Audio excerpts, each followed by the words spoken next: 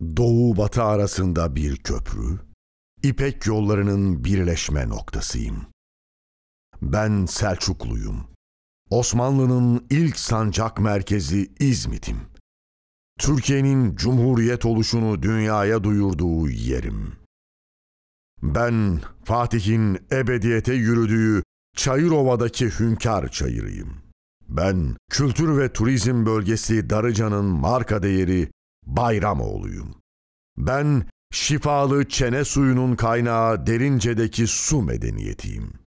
Ben dağ ve yayla turizminin adresi Kartepe'nin yeşil örtülü zirveleriyim. Ben dünya markası İpek Alı Merkezi Körfez'in değeri Hereke'yim.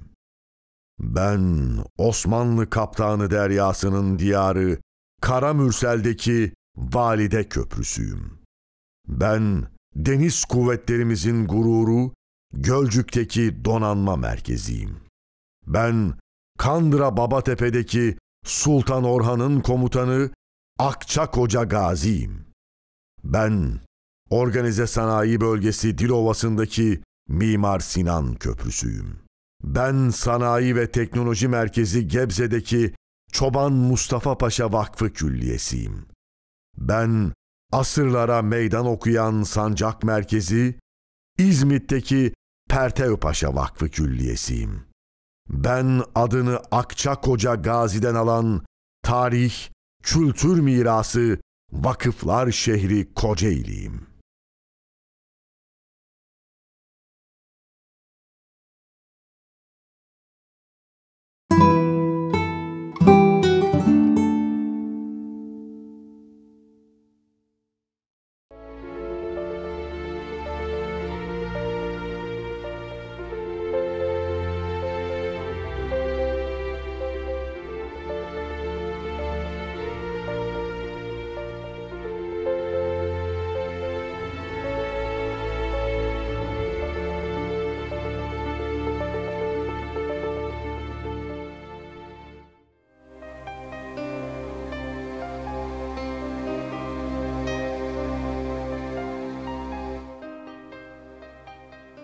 Tarihi, asırlar öncesine dayanan bir şehir Kocaeli.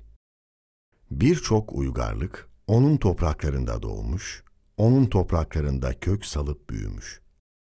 Hep önemli yerlerin, önemli yolların merkezi olmuş bu asırlık kent. Kahramanlık destanları yazılmış bu kentin kalbinde. Topraklarında sadece zamana meydan okuyan çınarlar değil, tarihe adını yazan komutanlar yetişmiş. İşte şimdi tarihe canlı şahitlik yapmış bu kent bize sesleniyor. Ben kökleri tarihin derinliklerine uzanan koca bir çınarım. Kadim zamanlara ve tarihe canlı şahitlik yaptım. Topraklarımda önemli medeniyetler kuruldu. Ben imparatorluklar şehri İstanbul'un Anadolu'ya açılan kapısıyım.'' Bin yılları, beş bin yılları, devire devire bugüne gelmiş medeniyetlerin beşiğiyim. Doğu batı arasında bir köprüyüm. Çin'den başlayarak Avrupa'ya giden tarihi İpek yollarının birleşme noktasıyım. İstanbul'dan Hicaz'a giden sürre alaylarının konakladığı Hicaz Demir Yolu'nun ilk istasyonuyum. Ben Selçukluyum. Osmanlı'nın ilk sancak merkeziyim. Gazi Mustafa Kemal Paşa tarafından 16 Ocak'ta Türkiye Cumhuriyeti'nin dünyaya duyurulduğu yerim. Ben şifalı Çene Dağı suyunun menbaı Derince'yim.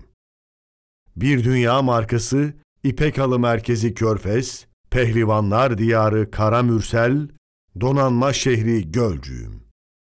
Kocaeli'nin Karadeniz'e açılan kapısı Kandıra, sanayi ve teknoloji bölgesi Gebze, dağ ve yayla turizminin adresi Kartepe'yim.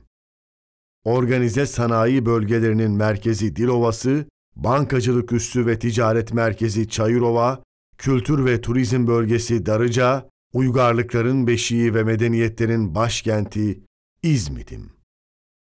Adını Akçakoca Gazi'den alan sanayi, bilim, kültür ve turizmde marka şehir Kocaeli'yim.